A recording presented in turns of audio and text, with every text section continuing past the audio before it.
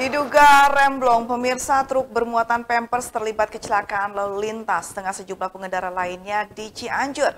Akibat kejadian tersebut, satu orang meninggal dunia dan dua orang lainnya luka-luka. Telah terjadi kecelakaan. Beginilah rekaman video amatir warga setelah terjadinya kecelakaan lalu lintas di Jalan Raya Sukabumi, Desa Songgom, Kecamatan Gekbrong, Cianjur pada Jumat.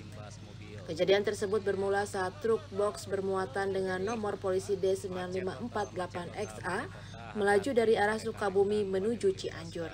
Namun di saat melewati turun, diduga kondisi rem tidak berfungsi dengan baik, menyebabkan truk terus melaju hingga menabrak mobil yang ada di depannya dengan kondisi terus melaju sejauh 80 meter.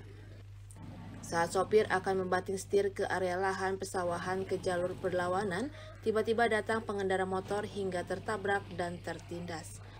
Akibat kejadian tersebut, satu orang pengendara sepeda motor meninggal dunia di lokasi kejadian. Dua lainnya luka-luka. Seluruh korban sudah dilarikan ke RSUD Cianjur.